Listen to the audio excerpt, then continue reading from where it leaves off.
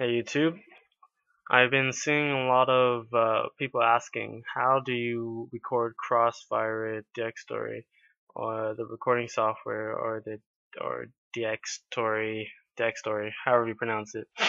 Um, and it seems to be a big problem uh, that they can't record Crossfire and I've been seeing quite around so I tried it for myself and I haven't been successful uh, at, re- at recording Crossfire till now.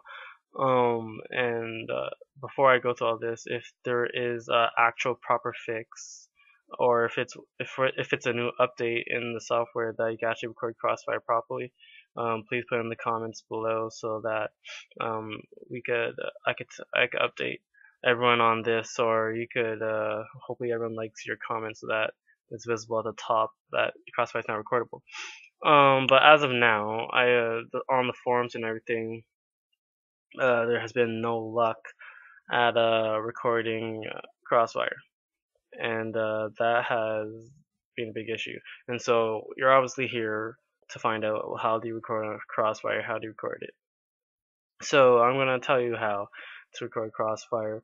Um, and uh, hopefully you can enjoy recording your gameplay at at full frames per second, um, as the software allows you, allows you to do. Um, now there's a few things to just to keep in mind.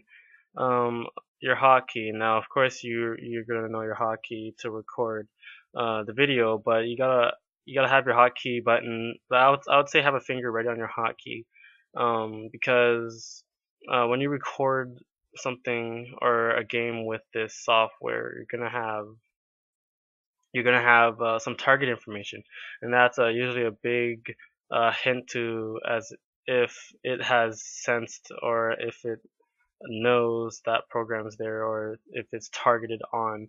Um, like if I was playing Battlefield, it would say target information for Battlefield. So if I push the record button, it'll start recording. Um, but with when I tested out the Crossfire um, to see uh, what the commotion was about, I didn't see any target information. Um, and so an easy way I solved this uh, with this method was just to wait and see in, if any point in the game the target information is visible and if when it is uh, is enough time for me to even push the record button.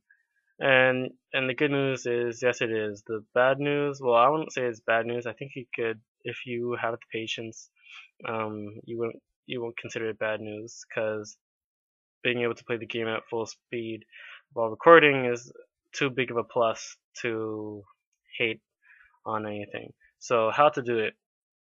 Um, I'm gonna click on my Crossfire icon, um, and I'm running Windows 7, so I have to run as administrator. As soon as I click this, the video is gonna cut off because it just likes because it just does that. So I'll be right back. Okay, so uh, it's back up um, like always, you gotta click start. Now, another thing to keep in mind, um, this, when you click start and Crossfire starts to load up, it will bring this uh, window down. What I like to have it ready uh, so I can click it to come back up because we need to see when the target information pops up. I'm gonna cue you in when it does uh, so that you know when it pops up. Uh, for some reason it works best if you when you open this back up and push F9 uh, or whatever your record button is um, and then uh, crossfire will start recording and I'll show how that's done. So I'm gonna start. Gonna wait for it. And crossfire is gonna slap it down. I'm gonna bring it back up. And you see the information? Push F9 or whatever your hotkey is to record. And then you'll see over here that it's now an orange number, which means it's recording. And as you see here now, target, target information is gone, uh, as, as if it can't detect it. But we already have the record started, so we don't give a crap. Uh, so with that said, uh, you are now recording Crossfire um, from that point on. The drawback, though, is that when you are recording like this, um, it no longer detects uh, Crossfire is there. So if you want to stop recording, uh, you can't push that hotkey because it's like, what are you talking about? I'm not recording anything, because there's no, it's not targeted on anything. So uh, what you have to do is basically close Crossfire, and that's how it stops recording. As soon as you close Crossfire. Um, and also, it stops and starts recording on its own during the loading screen of games.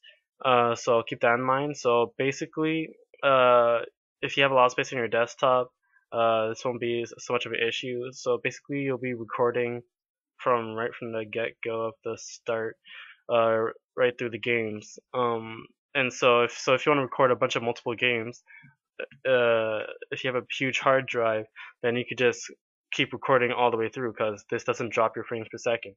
Um, but if you don't want all your videos together and you have to edit them out later, uh, then what you'd have to do is actually exit Crossfire and restart it and catch that uh, recording point, which isn't too hard to catch. Um, and then get back into that game that you wanted to. Hopefully, your friends or your clanmates are in there so that you could just quickly join back and then start it all up. Another thing to keep in mind is that this sometimes gives errors um, when you start Crossfire it'll say it'll ask you to send an error report to Z8 or whatever. Uh, but you just keep do you just keep going. Uh, like here, I just did it in one shot. It usually doesn't take that many times. Usually it is just a one shot in. Um, but if you do get an error, you just try again. Uh, I hope I helped. Uh, you guys record Crossfire. Um, and enjoy.